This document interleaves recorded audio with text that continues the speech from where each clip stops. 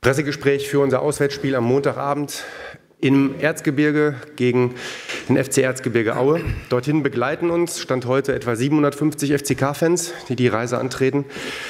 Schiedsrichter der Partie Günther Perl aus München. Letztes Spiel, was er mit FCK-Beteiligung gepfiffen hat, war unser Heimspiel gegen den KSC. Endergebnis 2 zu 2. Außerdem danach das Heimspiel am Sonntag, folgenden Sonntag gegen Aalen, bis jetzt 21.000 Tickets.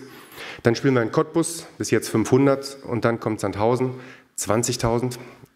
So viel von meiner Seite aus zu den Standards und ich würde sagen, ich gebe einfach direkt rüber zu dir, Costa. Was gibt es zu Aue zu sagen?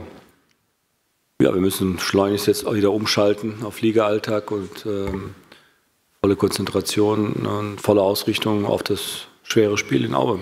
Es wird sicherlich sehr unbequem dort und ähm, die Euphorie, die wir jetzt momentan haben, die ist gut, die sollten wir auch nutzen, aber Konzentration ist jetzt gefordert von allen äh, Beteiligten, die mitwirken werden in diesem Spiel.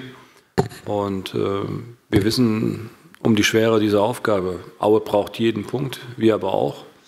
Und mit einem Sieg dort, das ist sicherlich auch unser Anspruch, können wir äh, nach dem Sieg gegen Fürth diesen Dreier veredeln.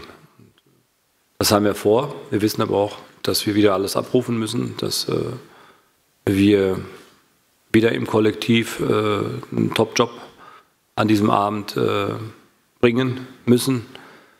Und dann bin ich auch zuversichtlich, dass wir in Aue erfolgreich spielen werden. Danke, Costa.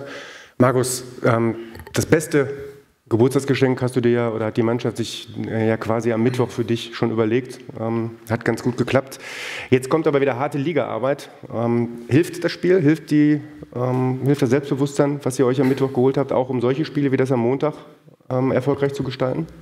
Ähm, sicherlich. Ich glaube, wir können äh, viel rausziehen aus dem Spiel. Ich glaube, dass wir, also ich persönlich habe noch nie in einer taktisch so disziplinierten, disziplinierten Mannschaft gespielt wie am Mittwoch.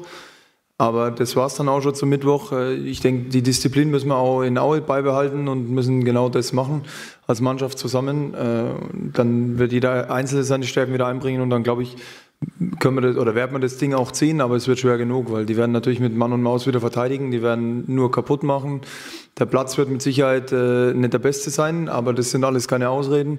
Wir fahren dahin, wir wollen gewinnen und wichtig ist einfach, dass wir den Schalter möglichst schnell umlegen und nicht von Anfang an äh, und von Anfang an da sind und nicht dann erst wieder nach 20 Minuten gucken, oh, was ist denn hier los und eins soll hinten sind. Also von dem her, ich glaube, jeder ist gewarnt, weil die Ergebnisse jetzt vom Wochenende sind auch wieder positiv für uns und da müssen wir umso mehr müssen wir jetzt Gas geben am Montag.